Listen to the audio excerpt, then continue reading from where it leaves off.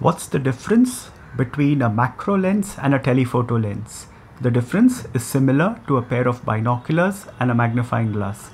If we see a bird on the tree, we need a pair of binoculars to get a closer view. But if there's an ant on the table, that binoculars is not going to help us. We need a magnifying glass. That's a macro lens. It helps us get closer to our subject so we can get highly magnified images of them. Whereas if there's something further away, we need a telephoto lens to get more magnification. I hope that cleared the difference a little bit.